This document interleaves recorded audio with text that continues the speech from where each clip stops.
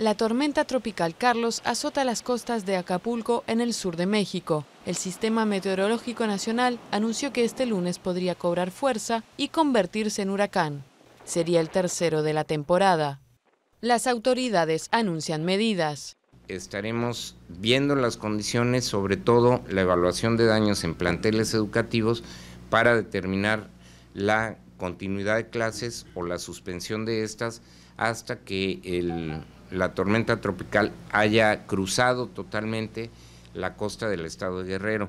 Con intensos vientos y lluvias, hasta ahora Carlos dejó inundaciones y daños materiales en varias viviendas. Derribó árboles y postes y dejó la mitad de Acapulco sin luz.